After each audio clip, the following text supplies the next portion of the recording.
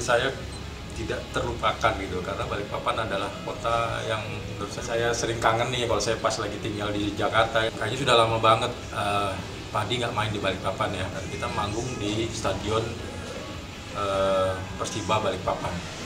Itu ya itu teman saya yang cerita. Katanya waktu itu sampai sekarang uh, dia masih teringat. Padahal rumahnya jauh tapi dengar soundnya gitu. Soundnya waktu kita konser dia nanya siapa yang konser? Ternyata Padi.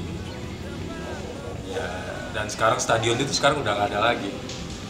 Stadion bosku Padi Ribon akan datang ke Balikpapan. Padi Ribon Balikpapan 7 April